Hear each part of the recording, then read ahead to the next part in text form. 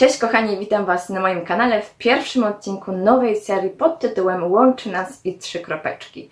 Ta seria jest dla mnie wyjątkowa, dlatego, bo do tych odcinków będę zapraszała różnych twórców, bookstagramerów, booktuberów, po prostu osoby, których coś ze sobą łączy. W miejscu tych wspomnianych kropeczek będę wstawiała co odcinek na przykład gatunek książki, na przykład dany tytuł konkretnego autora, jakiś motyw, no nie wiem, cokolwiek, coś na co mi moja wyobraźnia pozwoli.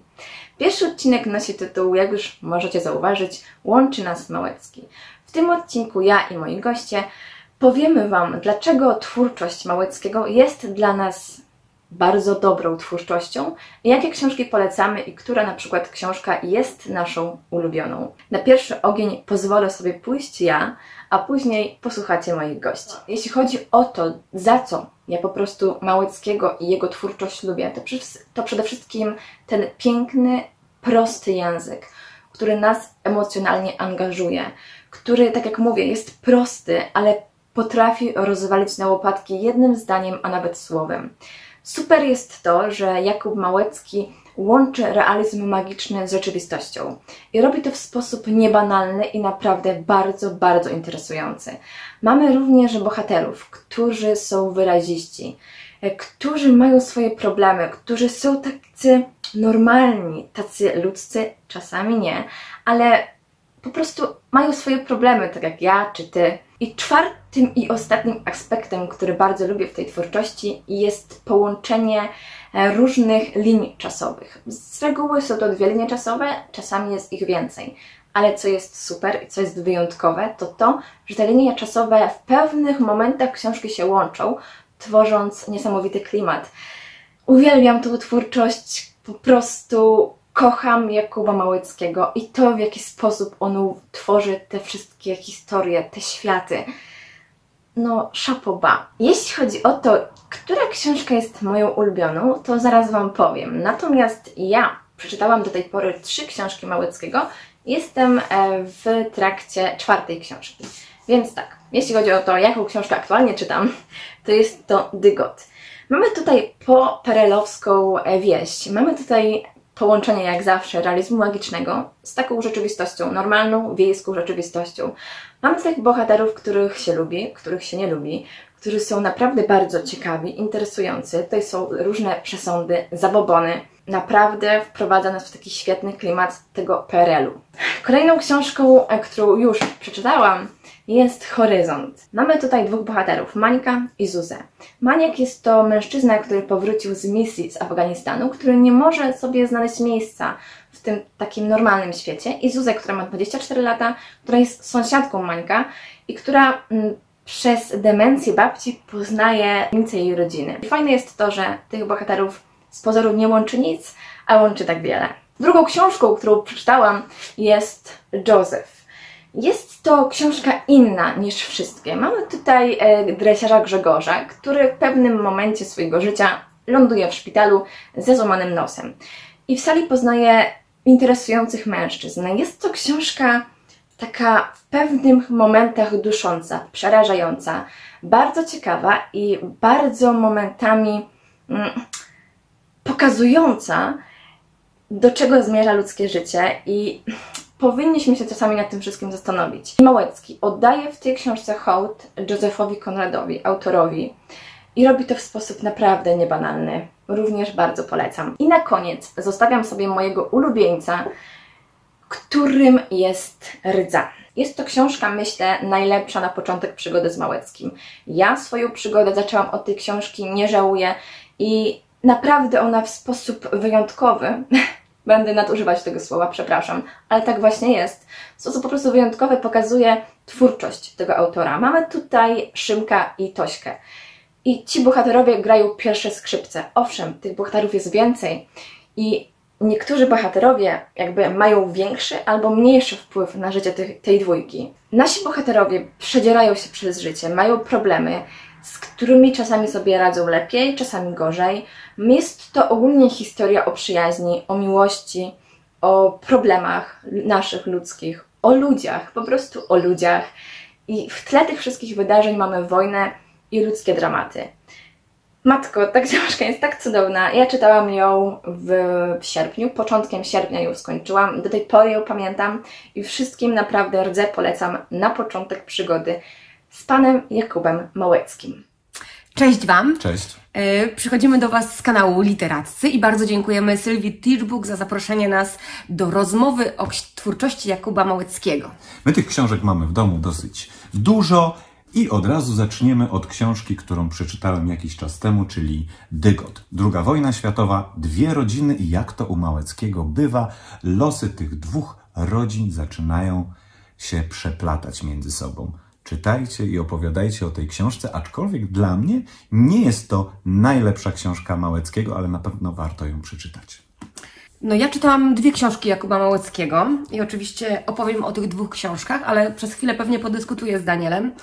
E, Książka, która dla mnie jest książką bardzo wyjątkową i lepszą nawet niż tą, którą przeczytałam jako pierwszą, to jest Horyzont. E, Ta historia, jak wiecie, z naszego kanału opowiada o Mańku i Zuzannie. E, Maniek to był Mariusz. Daniel powiedział słusznie, u Małeckiego przeplatają się te niteczki na przestrzeni pewnej perspektywy czasowej. I w tej książce nie jest inaczej. Jest tutaj trauma powojenna, Tak, ale w, w odróżnieniu od innych e, książek Małeckiego, tutaj skupiamy się na dwóch postaciach, tak? tak, to właśnie na e, Zuzanny tak. i Mańka. Nie ma dodatkowo rodzin, każdy z nich przeżywa Nie. swoją traumę i, Na swój jedyny sposób oczywiście. tak, i leczy ją w jakiś tam sposób. Tak. E, No trochę żeśmy to zagmatwali, natomiast e, ja z całą pewnością mogę powiedzieć, że ta książka to jest e, do tej pory mój numer jeden. Zaczęłam czytać Dygot, Mhm. jeszcze się dobrze nie wkręciłam, natomiast Horyzont bardzo, bardzo Tak, polecam. musicie też e, wiedzieć o tym, albo i wiecie, że Małgosia jest dużą fanką Jakuba Małeckiego. Jakuba Małeckiego. Ostatnią książką, e, jaką przeczytałem, o której zresztą rozmawialiśmy, to jest Saturnin. I to też nie jest książka, która należy do moich ulubionych, aczkolwiek w tej książce jest jeszcze coś, czego nie było w poprzednich. Czyli ta druga wojna światowa, której wchodzimy dzięki opowieściom dziadka, jest trochę inaczej opisana, jak na przykład w Dygocie, jest bliższa, jest bardziej dramatyczna, jest taka przesiąknięta taką tragedią ludzką. I to w tej książce jest dosyć dużym walorem. Polecam. Ostatnia książka Jakuby. Jakuba, co ty masz z tym Jakuby? nie wiem. Ale pamiętam, że Zuzanna też No. tak mówiła. Jakuba Małeckiego. A pierwszą, którą ja przeczytałam i do której porównuję każdą inną, jest Rdza. Tę książkę poleciła mi Zuza właśnie. No, Rdza to jest właśnie no, klasyczny Małecki, żeby nie powiedzieć inaczej.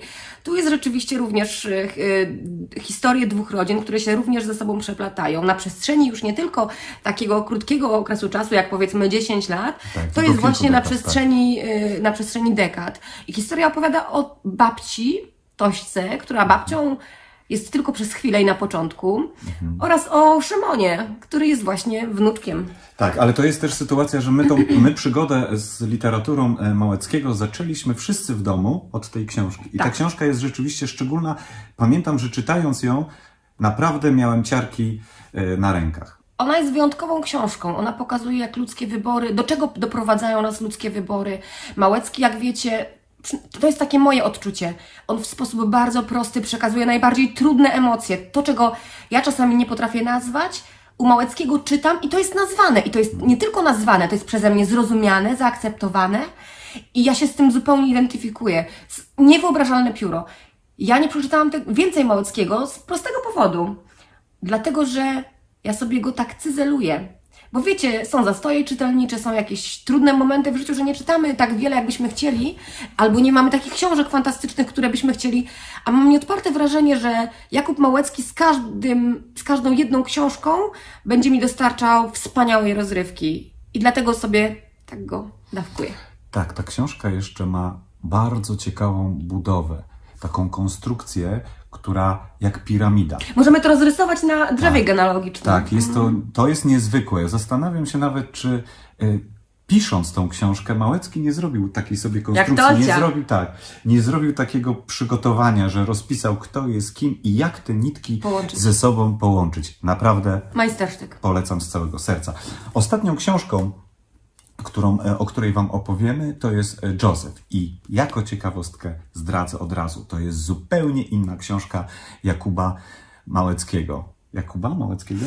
Strasznie mam jakiś kłopot z, tym, z odmianą tego Z Małeckim, imienia. może po prostu nie mów jak ma na imię. Tak, jestem troszeczkę zazdrosny, bo Małgośka cały czas go tam e, wywyższa i stawia na piedestał. To jest książka zupełnie inna. Słuchajcie, rzecz dzieje się w szpitalu psychiatrycznym, nie, w szpi- zwykłym szpitalu, aczkolwiek bohaterowie, którzy leżą na tej sali, doznają dziwnych omamów. Mamy też osobę, która, której wydaje się, że jest Józefem Konradem. E, Przepiękna książka, zupełnie inna, ale jedna z moich ulubionych, jeżeli chodzi o literaturę Małeckiego. Dobra, to teraz podsumujmy. Co nam się podoba e, w książkach Małec- Małeckiego, a co nie? No mnie się podoba ta wielowątkowość. yy, Z pozoru rzeczy, które są bardzo trudne, nienazywalne i emocje poruszane trudne i nienazywalne, autor nazywa, pokazuje, nie piętnuje, bo dla nie, w jego książkach ma miejsce tak naprawdę każdy człowiek. Czy to będę ja, czy to będziecie wy ze swoimi problemami, każdy tam jest zawarty. Czyli taka błaha historia, która na tych kartach pisanych przez Małeckiego jest historią ważną i ciekawą. Tak? A co mnie troszeczkę drażni? Czasem wydaje mi się, że czytam książkę Małeckiego, którą już przeczytałem. Czyli jest podobna konstrukcja. Tak miałem troszeczkę właśnie z Dygotem, Saturninem. z Saturninem, tak. Jest to troszeczkę takie ym, kolorowanie tej samej historii, ale czasem tylko. Nie zmienia to faktu, że książki Małeckiego y, czyta się wspaniale i nam się bardzo, bardzo podobają. Pozdrawiamy pisarza, pozdrawiamy Was serdecznie, dbajcie o siebie. Bardzo dziękujemy za zaproszenie. Cześć! Cześć, z tej strony Jennifer Leeds i, i dzisiaj goszczę tutaj na kanale naszej wspaniałej Teachbook. E, W serii Łączy Nas, tym razem chodzi oczywiście o pana Jakuba Małeckiego, chociaż zresztą po co ja wam to mówię, zresztą widzieliście to już po tytule i po innych osobach, które biorą udział w tym filmie, więc zacznijmy. Ja Małeckiego uwielbiam za to, w jaki sposób on jest w stanie konstruować zdania, które są z jednej strony wręcz. To, to są po prostu takie zdania przypomniane prostotą i tak dalej, ale on w prostych zdaniach potrafi zawrzeć tyle emocji, mm, w kilku słowach zawrzeć naprawdę całą długą historię, że ja naprawdę nie jestem w stanie opisać tego, w jaki sposób on to robi, a jak bardzo to na mnie oddziałuje i z tego co wiem też właśnie na innych czytelników. Więc jak dla mnie styl pisania Małeckiego jest w ogóle nie do podrobienia. Nigdy przy żadnym autorze nie czułam się tak jak podczas czytania Jakuba Małeckiego, więc wydaje mi się, że to już jest naprawdę bardzo zachęcające. On jest bardzo oryginalny i bardzo chwyta za serducho. Teraz tak, które książki Jakuba Małeckiego lubię? Ja przeczytałam póki co trzy książki Jakuba Małeckiego. Przeczytałam Dygot, Rdze oraz e, Horyzont.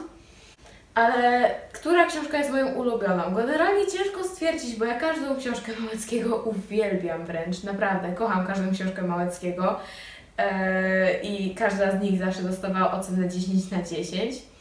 Więc e, ciężko mi tutaj porównywać, chociaż z tego co wiem i jakby co mam sama w moim serduszku, no to najbardziej zapadł mi w pamięć Dygot Jakuba Małeckiego.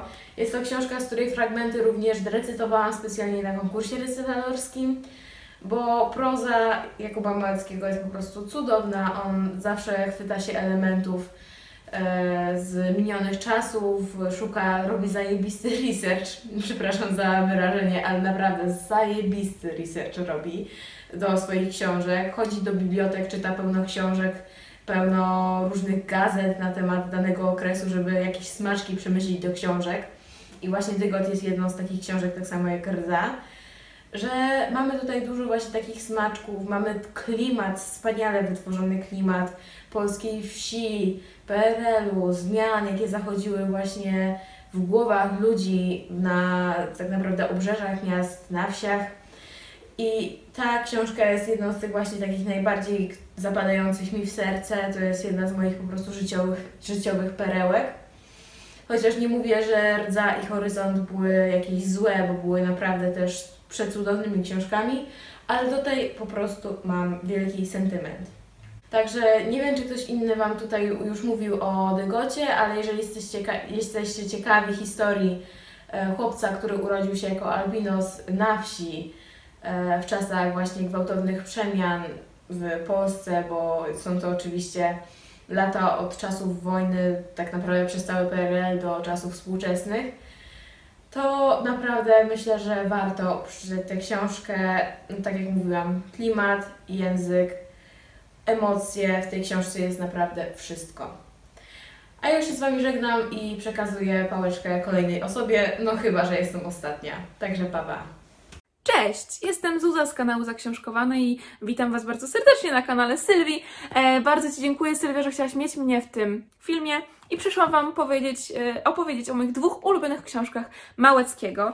E, Rdza. Rdza chyba nikogo nie zdziwi, e, ja jestem w ogóle zakochana w całej twórczości pana Małeckiego, natomiast Rdza była pierwszą książką, którą przeczytałam tego autora i zdecydowanie najlepszą i moją ulubioną.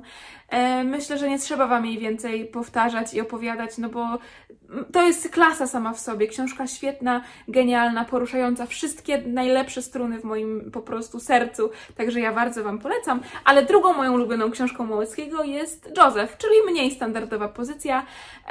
Jeżeli jakimś cudem proza Małeckiego Wam nie podpasowała w Rdzy albo w Dygocie, spróbujcie koniecznie, koniecznie Josefa, bo to jest coś zupełnie innego, ale równie świetnego. No i co? Ja w ogóle te dwie książki, no, całym sercem kocham i jeżeli jakimś cudem nie czytaliście ich jeszcze, to nie wiem, co robicie w ogóle na tym kanale, bo wiem, że Sylwia też jest w nim zakochana ogromnie. Joseph jest bardziej taką dorosłą pozycją i taką wymagającą odrobinę chyba bardziej od czytelnika zaangażowania, a Rdza jest takim raczej emocjonującym kawałkiem prozy i literatury. Mm, no nie wiem, obie są trochę inne, ale obie są tak samo świetne. I ja je uwielbiam, ale to wszyscy już wiemy. E, bardzo lubię też ślady, bardzo lubię horyzont. Ja w ogóle bardzo lubię wszystkie książki Małeckiego. Także ja bardzo, bardzo te książki Wam polecam. Dziękuję Sylwii, że chciała w ogóle mnie tutaj posłuchać. E, bardzo Cię serdecznie pozdrawiam, kochana, i trzymajcie się wszyscy ciepło i zdrowo. Cześć! Cześć, z tej strony Patrycja z kanału i z Bookstagrama Small Big Shelter. Bardzo na wstępie dziękuję Sylwii za zaproszenie w ogóle y, do, do tego filmu. Jak usłyszałam y, o tym pomyśle, od razu wiedziałam jakby, że, że, muszę, że muszę w tym uczestniczyć, muszę tutaj być, muszę Wam opowiedzieć o tym, jak y, cudowna jest twórczość pana Kuby Małeckiego. Bo właśnie po to się tutaj zebraliśmy. Mam tutaj swój zbiór dotychczasowy książek tego autora. Nie są to wszystkie książki, ale wiecie, nie, nie wszystko od razu. Ja jestem takim czytelnikiem, który się nie spieszy, który jak coś mu się spodoba, nie łyka wszystkiego od razu, tylko raczej się tym delektuje. Tutaj też nie wszystkie z nich są przeczytane. Przede mną właśnie jest jeszcze Joseph, jeśli chodzi o, o właśnie przeczytanie książek. Natomiast nie mam tutaj na przykład Saturnina, którego ostatnio udało mi się przeczytać, więc to tak się właśnie prezentuje. Ja może nie będę Wam jakby opowiadać konkretnie o jakiejś jednej książce. Myślę, że powiem bardziej ogólnie, dlaczego w ogóle tak bardzo lubię i cenię sobie twórczość pana Kuby. W ogóle jeśli chodzi właśnie o odpowiedź na pytanie, yy, dlaczego tak, tak bardzo mi się podobają yy, książki tego autora, doszłam dopiero do, do odpowiedzi po przeczytaniu właśnie ostatnio Saturnina. od czego by tu zacząć? Przede wszystkim książki, które pisze pan Kuba Małecki, są to książki zazwyczaj, zazwyczaj ich, ich fabuła jest osadzona gdzieś Y, na, wsi, y, na polskiej wsi, y, ewentualnie w jakimś małym polskim miasteczku. Więc to jest taka jakby rzeczywistość najbliższa memu sercu, jakby cała taka otoczka, że tak powiem, mentalność y, ludzi z polskiej wsi to jest takie jakby y, mi najbliższe, ja to bardzo dobrze rozumiem, bardzo dobrze to znam, y, bo od dziecka wychowuję się właśnie na wsi. I też właśnie bohaterami, zazwyczaj głównymi tych wszystkich powieści, są bohaterowie właśnie tacy typowi bohaterowie, którzy nie uzewnętrzniają się za bardzo, nie mówią wiele o sobie. y, Często właśnie są to postaci starsze, y, których poznajemy historie z młodości. I zazwyczaj to, są to też historie rodzinne i ich e, jakby młodsze pokolenia z tej rodziny nie znają za bardzo tych historii tych starszych osób i poznajemy właśnie na ramach powieści te historie i to nam pokazuje, jak, jak wiele osób może mieć za sobą e, jakieś przeżycia, o których my tak naprawdę nie wiemy. Jak wiele osób właśnie ma za sobą e, sporą historię, o której nie mówi, bo albo, przy, albo są to bardzo bolesne wspomnienia, o których najzwyczajniej w świecie nikt z nas nie chciałby opowiadać, e, albo to jest właśnie taka typowa mentalność ludzi z polskiej wsi. Y, Czyli no nie rozmawiamy o uczuciach, tak, nie, nie zagłębiamy się w przeżycia, w emocje, y, tylko żyjemy z dnia na dzień i tak to się to życie toczy, a że coś tam się w głowie kłębi, czy tam w sercu, no to zostaje to w nas i to się w nas jakby kumuluje. A pan Jakub y, właśnie y, otwiera nam te wszystkie postaci na ramach swoich powieści, dzięki czemu możemy y, je lepiej poznać. I myślę, że to jest właśnie według mnie takie wyjątkowe w tych powieściach, to, że są to historie o tak naprawdę prostych ludziach. Równie dobrze pan Jakub mógłby opisać historię waszej sąsiadki, waszego sąsiada, waszej babci, prababci.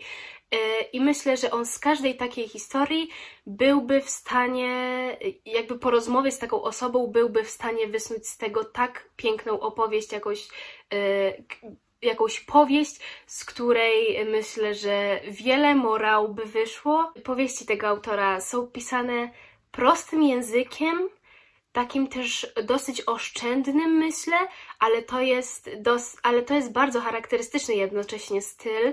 Jest piękny, jakby mamy tutaj do, do czynienia z literaturą piękną. Pan Kuba bardzo pięknie pisze, mimo tego, że właśnie, tak jak mówię, jest oszczędny w słowach, oszczędny w, pokazywaniu tych emocji, to da się to wyczytać bardzo dobrze między wierszami.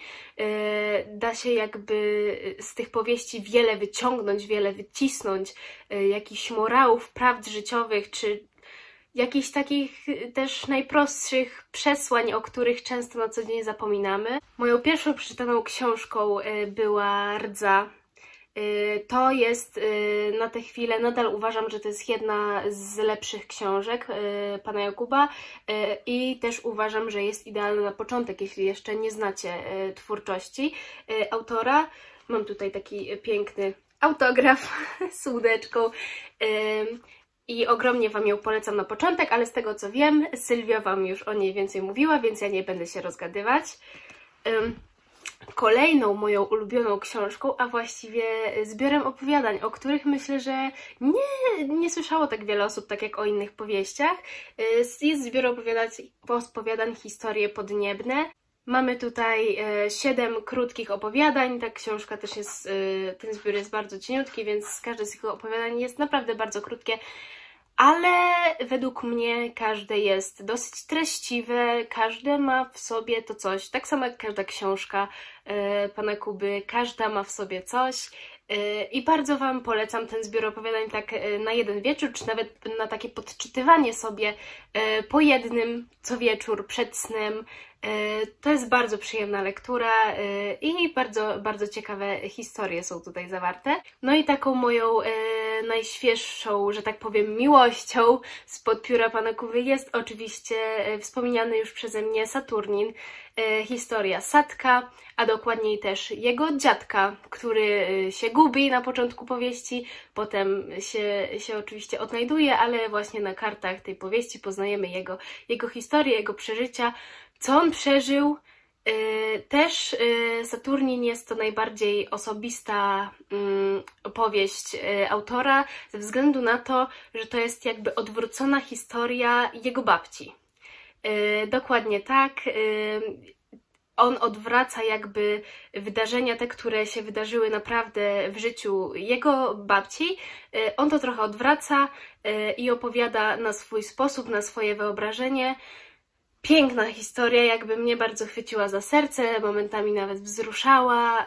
Oczywiście mamy też tam wątki wojenne, ponieważ cofamy się do takiej y, wojennej Polski, gdzie dziadek naszego tytułowego Sadka właśnie został wrzucony, że tak powiem, w wir wojny, w, walki. Y, no ale więcej Wam nie mówię, nie będę Wam więcej zdradzać. Też za bardzo y, przynajmniej ja nie potrafię dobrze opowiadać y, o książkach y, y, pana Kuby Małeckiego. Zresztą, jak sam y, on mówi, on pisze książki tak, aby właśnie nie dało się o nich za wiele opowiedzieć tak fabularnie, że jednak, żeby je poznać i żeby wiedzieć o co w nich chodzi, trzeba po nie sięgnąć. I myślę, że to jest taka idealna puenta ode mnie, ode mnie na koniec, że y, co byśmy tutaj wszyscy Wam nie opowiadali, jakie to cudowne są powieści pana Kuby, ile to tam jest w nich cudowności, to i tak, żeby się o tym przekonać, musicie po nie sięgnąć, a ja Wam je ogromnie polecam. I naprawdę nie macie się nad czym zastanawiać, bo pan Kuba Małecki to jest nasza polska duma, też nasz polski autor i y, musicie go poznać. To tyle, jeśli chodzi o ten pierwszy odcinek serii pod tytułem Łączy nas i te magiczne trzy kropeczki. Przede wszystkim bardzo, z całego serca dziękuję moim gościom za to, że poświęcili swój czas, mi swój czas, nagrali te filmy. I super jest to, że łączy nas właśnie ten, a nie inny autor. A Was, kochani, bardzo proszę o to, żebyście mi w komentarzu napisali, czy ta seria Wam się podoba, kogo byście na przykład e, najchętniej zobaczyli e, w którymś z odcinków, a może o czymś konkretnym chcielibyście od nas usłyszeć, czy to jest jakaś książka, czy to jest jakiś autor, no nie wiem, cokolwiek. Ja na pewno będę się Wami inspirować. Jeszcze raz wszystkim bardzo, bardzo, bardzo dziękuję, że oglądali i że nagrali te swoje filmy. Mam nadzieję, że Wam się podobało, że zaczniecie czytać książki Jakuba Małeckiego. Dziękuję Wam bardzo, widzimy się w kolejnych odcinkach. Cześć!